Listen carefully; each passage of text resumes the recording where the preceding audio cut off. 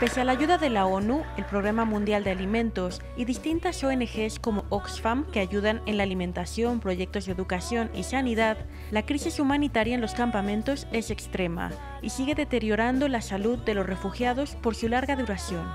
Después de 39 años sigue utilizando las normas de emergencia que sirve para satisfacer las necesidades mínimas a una situación a corto tiempo pero estas son las normas mismas normas que están utilizadas para satisfacer las necesidades de una población refugiada en una situación de largo tiempo.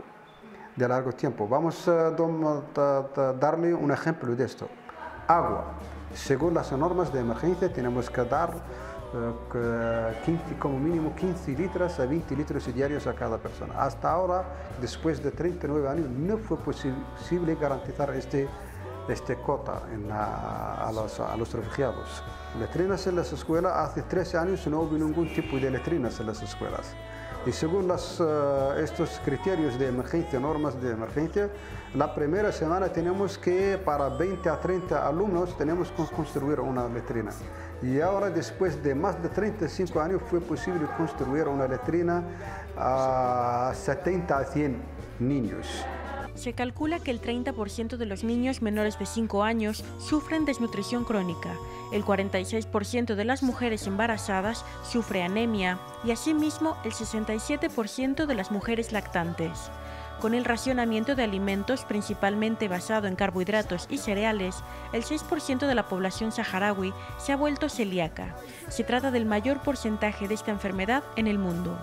También hay problemas de retraso de crecimiento de los niños.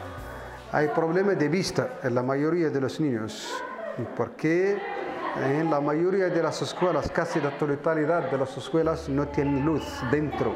En el invierno tienes que cerrar las puertas y las ventanas y esto uh, provocar uh, un esfuerzo un esfuerzo grande para que uh, seguir en la clase las ayudas que recibía la población saharaui se han visto reducidas con la crisis económica. La aportación de la comunidad europea ha bajado de 15 millones de euros a 10. El apoyo del gobierno central español bajó de 10 millones de euros anuales a 4,7 y la ayuda descentralizada de ayuntamientos o comunidades autónomas españolas ha bajado de 17 a 3 millones.